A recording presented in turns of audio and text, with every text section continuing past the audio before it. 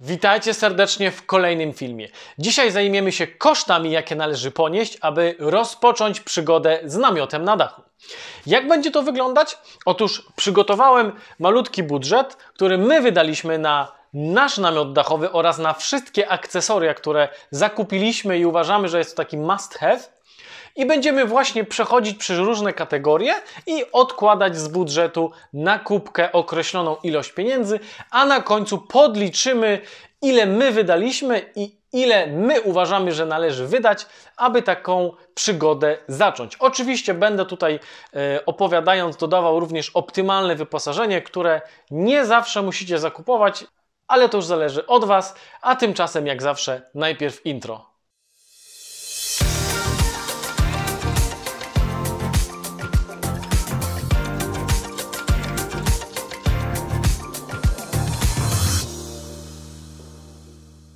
Pierwsza inwestycja, jaką należy dokonać, to jest oczywiście nasz namiot dachowy. Kwoty namiotów dachowych są bardzo różne. Jak wiecie z poprzednich filmików, jest to od 3000 zł aż do 22-3000 tysięcy zł. Są to namioty pompowane. My wydaliśmy na nasz namiot właśnie taką przygotowaną kwotę. Jest to kwota w euro, a dowiecie się na końcu odcinka, ile kosztował nasz namiot dachowy. Dlatego przechodzimy tak troszkę po cichu, płynnie e, w tajemnicy do punktu numer dwa, czyli do wydatku, na który my nie byliśmy do końca przygotowani, czyli bagażnik bazowy. E, oczywiście każdy bagażnik bazowy musi być dopasowany do Waszego auta, także kwoty są zapewne różne. My bazujemy na naszych wydatkach, dlatego my wydaliśmy 1000 zł na bagażnik bazowy firmy Tyle. Zdecydowaliśmy się kupić coś porządnego ze względu na jakość e, tego producenta i dobre opinie. Oczywiście można dużo taniej. E, są, nam, są bagażniki bazowe, chociażby już z Toyoty chyba za 600-700 zł, ale tak jak już wspomniałem, my wydaliśmy dokładnie 980 zł, zaokrąglamy, bo inflacja 10%, czyli zapewne dzisiaj więcej. Czyli 1000 zł odkładam na bok, 2, 3, 4, 5, 6, 7, 8, 9, 10 i jadę do punktu trzeciego, ale pozwólcie, że spojrzę sobie najpierw na ściągę. Punkt trzeci to meble kempingowe. I zapewne nie jest tutaj żadną tajemnicą, że taki sposób podróżowania wymaga od nas oczywiście takiego rodzaju mebli, gdyż nie zawsze tam, gdzie się zatrzymujemy, są wiaty, ławki lub inne miejsca, w których możemy sobie usiąść wygodnie, zjeść, przygotować posiłek, kawę, posiedzieć, posłuchać e, śpiewu ptaków, e, nacieszyć się słońcem, które na nas pada. Dlatego jest to taki must have, który musicie wydać. My wydaliśmy 900 zł na podstawowe meble kempingowe, a w skład tego wydatku wchodziły trzy krzesła, czyli najpierw krzesło dla mnie 200 zł, najpierw krzes później krzesło dla Marzeny i krzesło dla młodej stuwa to się pomyliłem, wydaliśmy 700 zł, przepraszam. E, stuwa, dlaczego mniej? Gdyż to krzesło musiało być mniejsze, bardziej kompaktowe, musiało się bardziej składać, ale nie martwcie się, ona i tak na nim nie siedzi, ja na nim siedzę, dziewczyny lubią wygodę, dlatego siedzą sobie na tych wygodnych. Stolik, który kupiliśmy to kwota 200 zł, czyli łącznie wydaliśmy 700 zł na meble e, kempingowe. Wy oczywiście możecie kupić coś tańszego, droższego, tutaj naprawdę jest wiele możliwości. Ja polecam opcjonalnie jeszcze do kupienia, do kupienia e, przenośnego paleniska, gdyż ono naprawdę super się sprawdza i wielokrotnie uratowało nam tyłek, jak było zimno, e, a było mokro lub był śnieg i nie było miejsca zbytnio do, do, do wyznaczenia, do rozpalenia e, ogniska, żeby było ciepło wieczorem. I kolejną rzeczą opcjonalną jest parasol lub e, moskitiera. Nie moskitiera, tylko mówcie mi, przeciwsłoneczna to jest e, markiza. I oczywiście markiza to już jest koszt około 1000 do 3000 zł nawet, a parasol myślę, że zamkniemy się w kwocie 200 zł. My niestety nie mamy już tyle miejsca w naszej Toyocie, dlaczego musimy się obejść smakiem. Dobra, teraz przejdźmy może do kolejnego punktu. Ja oczywiście ściągam, e, ściągam, oczywiście spoglądam na swoją ściągę. Ściągałem to przez całą e, szkołę, ale Zuzia teraz nie słucha. I przejdźmy może oczywiście do kuchni. Kuchnia to też wydatek, który musicie ponieść, a tutaj tylko tak naprawdę jest Wam potrzebna kuchenka jakaś gazowa, na której będziecie mogli sobie podgrzać jedzenie, kawę, wodę itp. itd., co tam chcecie. I my na taką kuchenkę wydaliśmy 300 zł bodajże, tak, bo to jest taka dwupalnikowa kuchenka, gdyż zdolności kulinarne Marzeny bardzo się rozwinęły, oczywiście na łonie natury i musieliśmy się zdecydować na coś, co ma dwa e, palniki, aby przygotowanie tego posiłku było szybsze i łatwiejsze tak naprawdę. A poza tym opcjonalnie czy można coś kupić takiego must have? Chyba nie. Wszystkie rzeczy do kuchni możecie wziąć z domu, czyli jakieś garnuszki, jakieś sztućce, e, jakieś talerze, jakieś pojemniczki. Oczywiście tego też będziecie dużo potrzebować na jakąś kawę, herbatę, cukier, sól, pieprz. To są nasze rzeczy, które my zawsze mamy przy sobie, ale tak jak wspomniałem, te rzeczy można wziąć z domu i niekoniecznie trzeba kupować tutaj jakiegoś ekstra kempingowego sprzętu. On się zapewnie różni jakością i jest dużo mniejszy, ale nasze domowe też jak najbardziej wystarczają na początek. Jeżeli Wam się spodoba, to oczywiście możecie pomyśleć o zakupie czegoś innego. I ja tutaj spoglądam na swoją ściągę, bo przechodzimy do punktu kolejnego, czyli odzież wierzchnią. I tutaj podzielę tak naprawdę te wydatki na, ze względu na pory roku. Jesień i zima. Przepraszam Was. Alexa e, chce mnie przypomnieć, żebym, przypomina, żebym się uczył angielskiego, także pozwólcie, że ją tylko wyłączę. E, na czym skończyliśmy? A, na podziale na pory roku.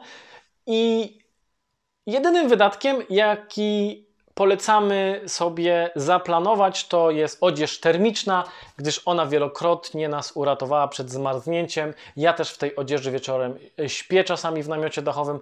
Jak jeszcze nie mieliśmy oczywiście Webasto, to, to obydwoje w niej spaliśmy, nawet w czapkach, tak było przynajmniej w Opolu. I koszt yy, takiej odzieży termicznej już może nie lepszy, ale ze średniej półki to jest około 250 zł na osobę, czyli razy 2 to jest 500 i dla młodą 200 e, zł trzeba liczyć. Oczywiście, jeżeli Wy podróżujecie w 4 osoby, to musicie dopasować sobie te kwoty do, do siebie. I chyba tyle. Oczywiście opcjonalnie warto mieć jakieś ciepłe buty, ciepłe skarpetki, najlepiej w jakiejś z wełny merynosa bodajże to się nazywa skarpetki, przyda, przydają się. E, buty też na, po nad kostkę, gdyż my lubimy troszkę po górach pochodzić. Jak jest ślisko, wiadomo, można szybko nogę skręcić. Mm, czapka i szalik jak najbardziej must have, ale to są rzeczy, które mamy na co dzień. Kurtka e, ciepła, jeżeli palicie ognisko i macie kurtkę membranową, a zapewne o takiej myślicie, bo ona też jest przeciwdeszczowa i też przeciwwiatrowa, to uważajcie, gdyż iskierki potrafią bardzo szybko ją zniszczyć. E, też tutaj powiem, że namiot dachowy również nie lubi iskier, dlatego my, jeżeli zdecydujemy się już rozpalić ognisko, to najpierw sprawdzamy, gdzie wieje wiatr. Staramy się oczywiście nie ustawiać w kierunku wiatru namiotu e, albo palimy ognisko i rozkładamy namiot już po ognisku, lub odjeżdżamy dalej, ale to też oczywiście tylko taka wskazówka dla Was. A jeżeli chodzi o koszty, które należy ponieść latem i wiosną, to szczerze mówiąc, nie ma chyba kosztów, które są takie must have. Jedynie coś nakrycie głowy, ale to kapelusz czy czapka zapewne u Was w garderobie również występuje. Ja po długim czasie przekonałem się do sandałek i dzisiaj nie wyobrażam sobie e, bez nich podróżować, e, ale nie opowiem Wam dlaczego, bo mnie przekonany, może Marzena Wam kiedyś powie. Czyli z odzieży to tylko i wyłącznie odzież termiczna. I przechodzimy dalej. Tutaj połączymy dwa punkty, gdyż będzie je e, spalać jeden artykuł, który jest uniwersalny, czyli mówimy o prysznicu, o prysznicu i toalecie.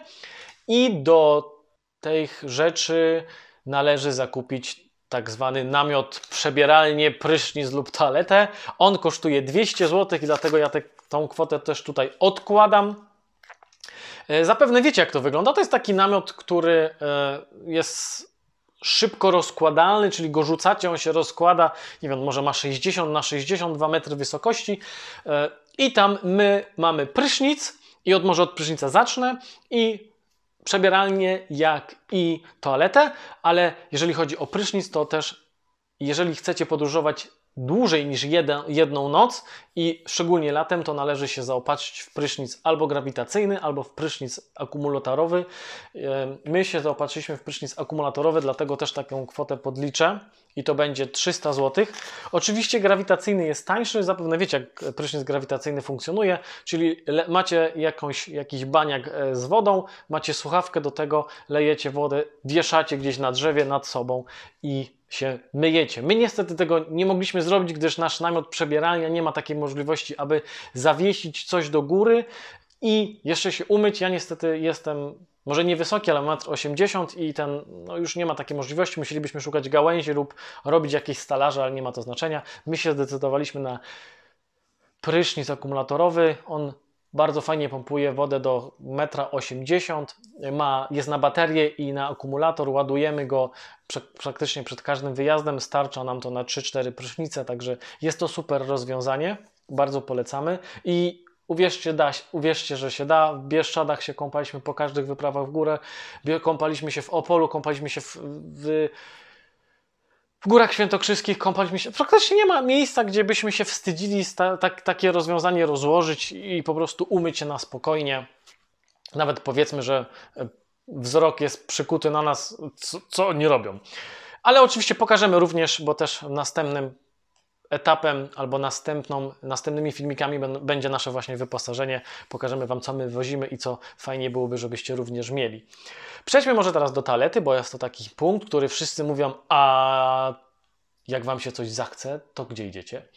I pytanie jest jak najbardziej słuszne i nie ma tutaj co czarować, że jest zawsze super i y, jest wygodnie, bo, bo nie jest. Oczywiście ten namiot pomaga, ale nie zawsze, dlatego nauczyliśmy się wykorzystywać sytuację. Jeżeli jest jakaś stacja benzynowa, to zawsze z niej korzystamy. My podróżujemy dynamicznie, także naprawdę w dzień gdzieś jesteśmy w terenie, albo w górach, albo w mieście, albo jakąś zwiedzamy jakąś puszczę. A jak szukamy miejsca noclegowego wieczorem, to staramy się zawsze w momencie, kiedy wyjeżdżamy, skorzystać z toalety jeszcze, albo w czasie drogi jesteśmy na jakiejś stacji lub w restauracji, to już zależy, co się trafi. Problem pojawia się rano i do tego należy zakupić saperkę. Tak, saperkę i ona kosztuje stówę i ja to tutaj też również rzucam, bo to jest taki must have moim zdaniem. Ona pomaga nie tylko podczas toalety, można coś odśnieżyć. Ona, jeżeli kupicie dobrą saperkę, ma też funkcję e, piły tak naprawdę. My już próbowaliśmy coś ciąć, chociaż wiadomo, że e, nie jest to łatwo i trzeba się napiłować, ale jak nie ma czegoś innego, to, to i dobra jest saperka. Ok, to spoglądam na kolejny punkt. Co my tu mamy? Mieliśmy prysznic, toaletę. A, teraz spanie, spanie, spanie. Tutaj teoretycznie nie musicie ponosić żadnych kosztów. My na początku zdecydowaliśmy się na śpiwory, że będziemy spać w śpiworach, jednak po jakimś czasie okazały się troszkę nieudanym pomysłem. Wydaliśmy na nie bodajże 200 złotych ale przerzuciliśmy się na zwykłą pościel. Tak, po prostu taką pościel, którą zapewne wielu z Was śpi w domu. Yy, zabraliśmy ją do namiotu i ona tak naprawdę tam cały czas jest. Nie wyciągamy jej. Yy, szczerze mówiąc, nie mieliśmy problemu z wilgocią, z niczym. Ok, jak namiot mokry, mokry się składa, to oczywiście wiecie o tym, że trzeba go wysuszyć po jakimś czasie, maksymalnie chyba półtorej tygodnia nawet był tam złożony. I nawet była zima i ta pościel, nic się z nią nie stało. Po prostu była zimna, a nie była wilgotna. Na zimę zdecydowaliśmy się kupić poszewkę z bawełny. Marzena wypatrzyła coś fajnego w Biedronce i to był super, e, super zakup, gdyż kosztowało to bodajże 50 zł, a okazała się ta e, poszewka dużo cieplejsza niż nasza, ale odkąd mamy Webasto, to szczerze mówiąc można spać e, bez kołdry. Ok, spojrzałem na, nasz, na naszą ściągę. Także nic nie doliczamy, bo wszystko, co chcecie na, na noc, czyli też pijama, pijama party, też możecie opcjonalnie sobie zakupić jakąś ekstra, ale nie potrzebujecie. Latem to uwierzcie mi, że będziecie bez piżamy spać. I przejdźmy może jeszcze do kosztów, które ja nazwałem kosztami e, Majsterkowicza. Są oczywiście pewne męskie zabawki, czyli musicie mieć jakiś nożyk, musicie mieć siekierę. Ja jeździłem długo bez siekiery, ja cię sobie nie wyobrażam. Musicie mieć jakąś piłę japońską, bodajże to się nazywa, taka z zębami składana, też super sprawa. Bardzo łatwo można począć jakieś grube drzewo, a później je porąbać.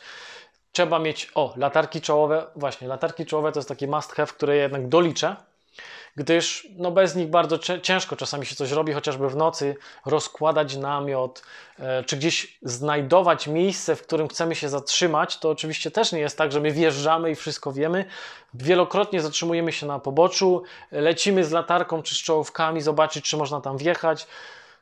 Marzena naprawdę czasami wybiera super miejsca, ale z wjazdem z Toyotą e, Yaris nie jest tak super. Dlatego tą czołówkę warto sobie kupić i lepszą. My nią, za nią wydaliśmy Pets chyba się nazywa firma, stówę. Dlatego, jeżeli chcecie jedną, to kupcie jedną. Ja odłożę 200 zł, bo Marzana też ma swoją. Ważne jest, żeby miała tą funkcję podczerwieni. To się chyba funkcja podczerwieni nazywa. Nie lecą do tego komary. Uwierzcie mi, że w Sandomierzu zjadły mnie. Ale to już taka historia, może kiedyś przy, przy piwie albo przy ognisku.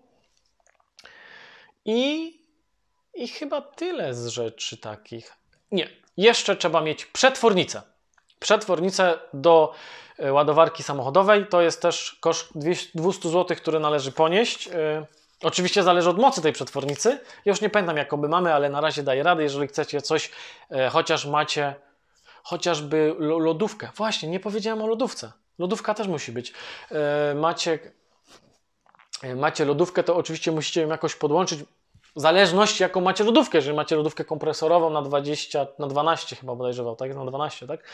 To możecie ją podłączyć bezpośrednio do gniazda zapalniczki samochodowej. My mamy przetwornicę z tyłu, mamy lodówkę na, 20, na 230 i ją właśnie tam podłączamy. E, dlatego i też czasami ładujemy telefony przez tą przetwornicę, bo tam jest opcja tego szybkiego ładowania i dużo szybciej się ładują, chociażby baterie lub jakieś inne sprzęty. Dlatego przetwornica to jest taki must have i lodówka. W sumie, czy potrzebujecie lodówkę? Najlepiej kompresorową, ale to jest wydatek około 800-900 zł. Mamy taką zwykłą lądówkę turystyczną. E, daliśmy za nią bodajże 300 zł. Ja tego kosztu nie doliczam, bo to już mm, wydaje mi się, że nie trzeba tego mieć. Szczerze mówiąc, dzisiaj stylem dynamicznym, jak podróżujemy, to kupujemy rzeczy na bieżąco w sklepach. Także to nie jest jakiś tam wydatek, który musicie ponieść.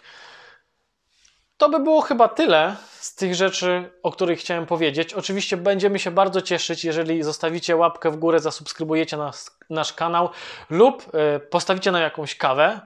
Ja jestem kawoszem, także będę Wam bardzo wdzięczny. Y, dowiecie się w komentarzu, jak to zrobić. Nie w komentarzu, tylko w opisie. Marzena zawsze mi mówi, Tomek, nie w komentarzu, tylko w opisie. To w opisie. Y, I podsumujmy może jeszcze raz i opowiedzmy szybko, co należy dodać do tej listy zakupów. Najpierw to jest namiot dachowy, w naszym przypadku to 1800 euro. Dlaczego 1800 euro? Bo udało nam się go wyrwać w dobrej promocji, nawet jak nie było promocji. Polecam e, wykorzystać nasz sposób, czyli napiszcie do producenta namiotu, który wybraliście, czy czasami nie ma towaru B. Jest to towar pełnowartościowy, ale nie nadaje się do sprzedaży już dla konsumenta, gdyż ma jakąś wadę, e, chociażby no nie wiem, jest coś przeciętego, jest, nie wiem, ma kropkę gdzieś i w jakimś widocznym miejscu i teoretycznie się nie da, ale praktycznie oczywiście się da kupić. E, tylko nie, nie róbcie tego może tak hamsko, że halo, halo, cześć, witamy, macie towar B. No po prostu opiszcie, że chcecie podróżować, że wasz budżet może nie pozwala na, na, na zakupno takiego namiotu pełnowartościowego i chcielibyście się zapytać, czy czy jest towar z drugiej ręki. Niekiedy są to towary, które tak naprawdę zostały odesłane, ale to, jak to powiadają, rób ta co chce ta. I, I przechodzimy do tych kosztów e, akcesoriów, czyli 1000 zł, raz, dwa, trzy, cztery, pięć, sześć, siedem, osiem, dziewięć, dziesięć to, jest, y, to są relingi, nie relingi, no bagażnik bazowy.